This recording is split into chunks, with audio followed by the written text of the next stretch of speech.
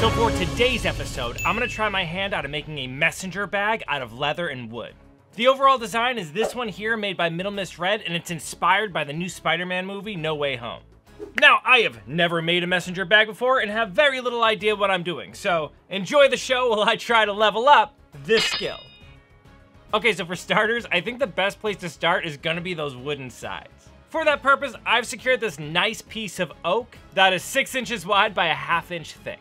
Now, since I need to somehow carve that spider image into it, I tried to find ones that had as straight a grain as possible, just so my Dremel tool isn't kind of dancing around while I'm trying to do my thing. Speaking of which, to try to make sure that I make this thing as perfect as I can, I'm going to employ the Cricut Cutter to go ahead and cut a template out for me. This is just the easiest way I can think of to get the design I need to be perfect. Plus, I just love the way it peels away once it's done. It's so satisfying to watch. And that worked out well. As you can see, I not only have the overall shape I'm going for and obviously the image, but I've also included these little slits here that are gonna act as the points on my sides that my straps are gonna connect to. I think. We'll see. Using this, I'm just gonna kind of align it onto the board here and then trace it out so I can make sure I get all the shapes I need where I need them. And these I've just decided to cut with my bandsaw, which is still the best purchase I've made in a long time. For real, I don't know why it took me so long to break down and buy one, but hot damn, I'm glad I did. All right, so cool, with these in the shape that I want them to be, I now need to cut out those little strap slits. I figure the best way to do this is to use my drill press and just make a bunch of holes in a line where I need it. Then with the bulk of that material removed, I can just kind of go back in with a rasp and smooth it all out. Okay, so I have an idea. Originally, I was gonna trace this spider design on here and try to carve it out. That's all well and good, but I think it might look a little bit messy if I do that because it's hard to get the carving exactly perfect. But I do have the Cricut cutter and some veneer. Let's see how this works. Okay. Look at how dope these are. What? That's gonna look sick. They're perfect and they fit right on the wood. I I couldn't be more excited. I think this is gonna work out. Okay, so before I glue these together, I decided to add in my colors. For this, I'm actually using leather dye just because I couldn't find any wood stains that were rich enough for the color I was looking for. This is a bit of an experiment, but it totally seems to work out. The colors are super true and exactly what I was looking for. Not only that, but I can be positive that these are going to match my leather color perfectly, because it's a leather dye. All the pieces are coming together. With those looking just so slick, I'm adding a liberal amount of glue to the back of my veneers and then carefully placing them onto the sideboards. To keep them flat, I'm placing them into my book press and putting a good amount of pressure on them then just leaving them to cure overnight. All right, cool. Time to check on how these came out. Okay. Look at how these came out. They look perfect. This was a really good idea. I was gonna, yeah. I could not get it that perfect if I carved it, so the fact that it just, it looks this good out the gate, I'm so excited. To seal these up, I'm just hitting them with a semi-gloss clear coat. I also sand in between each coat with some steel wool just to get it as smooth as possible. This gives me this really beautiful low luster finish that I am just obsessed with. So good.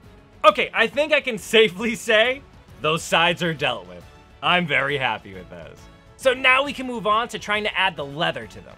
Now for my leather, I am using this beautiful piece of 6 ounce veg tan leather that my brother actually got for me for my birthday. Thank you, Jeff. I, and I'm sure the rest of the Skill Monkeys, really appreciate it. Now to figure out how much of it I need, I'm just gonna use this tailor's tape and wrap it around the side till it's about where I think it should be. To get its width, I'm just gonna kind of stand up the sides here and see how far apart I think they look good. 16 inches, in case you're curious. And with those measurements down, it's just a matter of cutting the whole thing out with an X-Acto knife to those specifications. And testing it out, I can already see this is gonna look great. Okay, so that last little bit with the veneer worked so well, I decided I wanna try my luck at something else I've been meaning to try. So I was thinking that this bag would look really cool if the outside of the leather was the black color that's shown in the picture here, uh, but the inside was like a red to match what those sides are. So I'm gonna try to line that black leather with a red leather on the back. I've never done this before, but in principle, Seems like it'll be simple, so let's give it a try. I figure the best way to do this is to just put the piece that I cut on top of the other one, and then cut that inside piece slightly bigger, so that I could trim it down to be perfect later on. Alright, so with those two pieces ready, I think the best course of action is actually to go ahead and tool my leather now, just because I don't want those tool marks to show up on the other side of the leather once it's finished. To get this done, I'm just copying over Middlemistred spider image onto some baking paper to use as my template. Then I do the standard thing of wetting down the leather, placing the template over the spot I want it, and then tracing it into the leather with my stylus. And once that's in place, I cut the whole thing out with my swivel knife and go back over it again with my bevel tool to really make the image pop. And I have to give a shout out to Middlemistred on this one.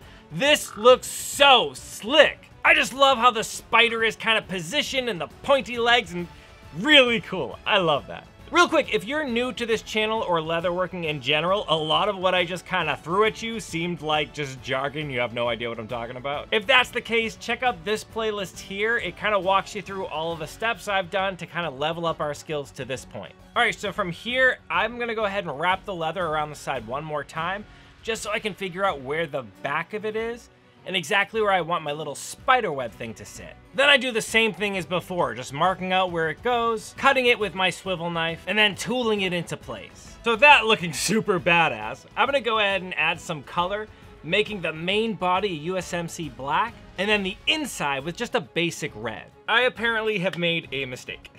So I've had this little bottle of red here for quite some time because I just frankly never really use red for my projects. I usually end up using like an ox blood or something. Now the amount that was left in here should have been plenty to go on the piece of leather, but I don't know if it's because I used the sponge and the sponge just kind of soaked it up and it dried on it, but it wasn't nearly enough to cover everything. So now I have to run to the store and buy some more, and I'm hoping that when I put it back over the dye that's already on there, it doesn't leave it like streaky and spotty and nasty looking. Alright, I not only picked up a new bottle of dye, but I also picked up some of this lamb's wool to act as my dauber. So the wool totally covers great. I like using this for this application. The dye job, though, did come out a little streaky looking. Better than I thought it would, but the dye that I put on initially that had dried just left us with darker areas after I went over it again.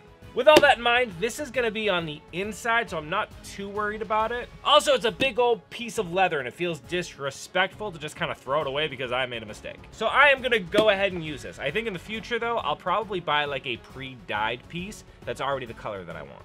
Okay, so with that almost catastrophe out of the way, it's time to stick these two pieces together. To do this, I'm just covering the back of both pieces with some barge contact cement. And once it's had some time to get tacky, I carefully place them together and press down hard to make sure everything bonds correctly. And this is where the inside being larger than the outside comes in handy. Now I'm able to cut the larger piece flush, making them look like they fit together perfectly. And I'm honestly quite proud of how this came out. The dye job isn't perfect, but these things still look really cool together. To make it look even better, I just went ahead and treated the edges by hitting it with my edge beveler, dyeing the resulting bare leather left over, and then slicking and sealing those edges up with gum tragacanth. Finally, I used some Pro Resist just to give the whole thing a nice shine and a protective coating. Okay, I think we're ready to put all of this together, the sides and the leather and everything. First, I need to assess exactly where the leather is gonna land on those sides so I can figure out kind of where the opening is, right? So to do this, I just kind of put the sides together and used a straight edge to mark where I think the beginning and the end of the glue up will be. Then I just roll the wood along the edge of my leather to mark out exactly where I need the glue to sit. Then again, I just spread some barge cement on the wood and the leather for my two to bond together. With that said, I carefully position the two into place, letting the contact cement do its thing while I roll my wooden sides to shape my leather around it. Okay, so this is sticking pretty good, but not awesome. I feel like it's starting to come apart a little bit.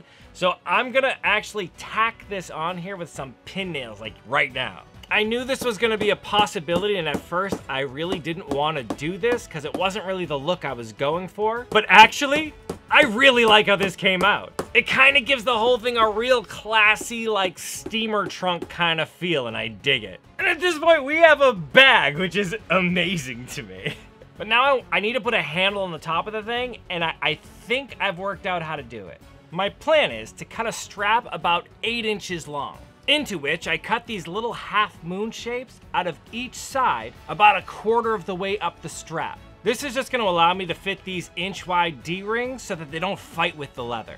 Now with those cut, I can just kind of slide the D-ring into the place so that they fall into those little indents. Then add barge cement to the whole rest of the strap aside from where those D-rings sit. If I plan this out right, each side should be able to fold in and just touch each other right in the center of that strap, locking those D-rings into place. Said whole assembly will form a handle. I am proud of that. That was just kind of off the top of my dome piece there, so I'm happy with it.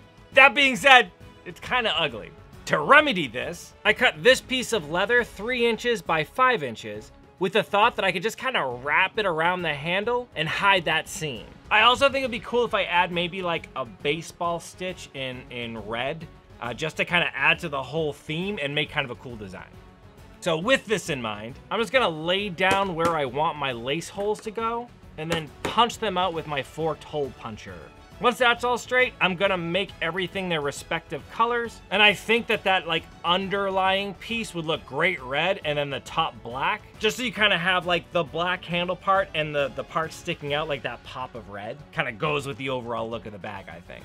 Then to hold it all together, like I said, I'm just going with a simple baseball stitch with a red wax thread. This stitch is super easy to do and looks really good. If you don't know how to do it yet, you can check out this video here where I cover it. Also, sorry about all the wardrobe changes. This has taken a couple of days to do, and actually while I was waiting for this to die up, I went and grabbed some food and it rained. It rained real hard.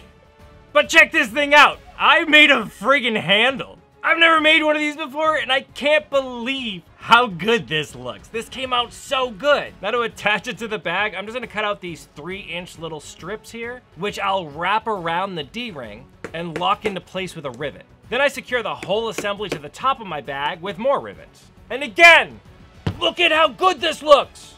It's a bag. It has a handle, it opens and closes, it's a bag. I really like how this came out. This is like, this looks good. It feels good. Sorry, I'm just real excited about this.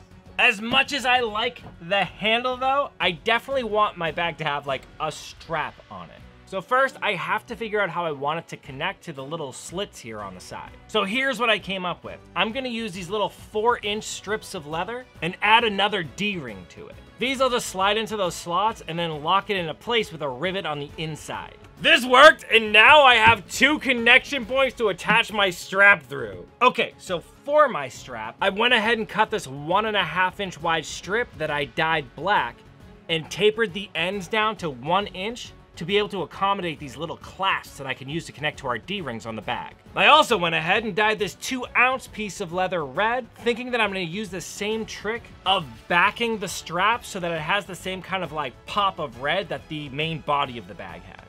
So I just kind of did the same thing of gluing the back of both pieces, carefully attaching them together, and then cutting them down to shape to make sure they're perfect. And this whole thing honestly came out looking really good. Like that black with that pop of red and the way these attach looks really professional. And look how they connect to the bag. Oh my god, I love it. Check that out. Oh, it's so cool. All right, the last thing we have to do is add a clasp onto this. That way we can keep it closed so I can actually use the handle without the thing just kind of opening up on me. For the clasp, I have this cool little hook and keeper assembly that I thought would look pretty neat with the whole theme. Now I had to be pretty creative to attach this thing by clamping a 2x4 to my table so that I had something to set my rivets against. But when it was done, check this out! Oh my god, it's so cool! I was flying by the seat of my pants with this one, but you cannot tell me this thing doesn't look dope. Like, I love it so much. Now, I could put like a partition in the middle here or something, but I kind of like it being almost like an overnight bag so I can fit a bunch of bulky items in here. But for my first bag, I'm I'm ecstatic with how this looks. This thing is dope. Now, I love this so much, and I want to give a shout out to these amazing people who make it possible. Without my Patreon members supporting me, this channel couldn't grow, and I wouldn't be able to do all this stuff. So I really appreciate you guys. Thank you so much. And a special shout out to our newest high tier level Patreon members. Rich Gibson and Iziferus. I think I butchered that, but you know who you are. Thank you so much for joining the fam and helping to support this channel. I really appreciate it. If you like what I do here and want to see the channel grow, why don't you consider joining my Patreon? Link in the description below. Finally, if there's something you'd like to see me do, why don't you leave it in the comment section and I will add it to the list. Alright, I gotta get going. Amazon just released the previews for the Wheel of Time, and I'm going frame by frame tonight to see if there's anything cool I can make from it. I love the Wheel of Time. In the meantime, though, keep leveling up, you.